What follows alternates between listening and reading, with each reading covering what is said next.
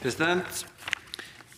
Jeg var altså saksordfører på innstilling om ideelle aktørers historiske pensjonsutgifter, og komiteen har blitt enige om at debatten om denne saken skal slås sammen med debatten om lov om tilskudd til visse private virksomheter, som det har blitt innledet med.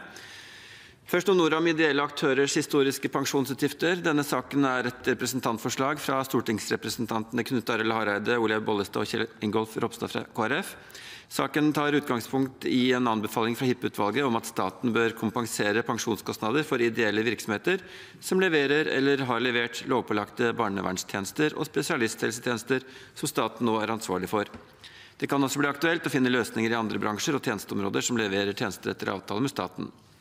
I budsjettet for 2019 foreslo regjeringen 30 millioner kroner til en tilskuddsordning for dekning av ideelle og enkelte andre virksomheters historiske pensjonskostnader knyttet til offentlig tjenestepensjonsordning. Gjennom budsjettavtalen mellom regjeringspartiene og Kristelig Folkeparti ble budsjettet styrket med ytterligere 18 millioner kroner. Helse- og omsorgskomiteen er enige om at de ideelle aktørene på helse- og velferdsfeltet skal ha stabile og forutsigbare vilkår, og det er plass til flere ideelle aktører innenfor flere omsorgsområder, noe vi ønsker velkommen.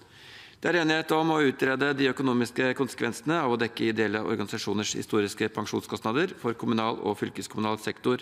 Utredningen skal også se på om dekningen bør skje gjennom å utvide den søknadsbaserte tilskuddsordningen som det i budsjettavtalen for 2019 ble enighet om å etablere. Som følge av dette anbefaler ikke flertallet i komiteen at representantforslaget vedtas i denne omgang, men altså avventer til utredningen er gjennomført. Så over til innstillingen om lov om tilskudd til visse private virksomheter med offentlig tjenestepensjonsordning. Dette er også en sak om historiske pensjonskostnader.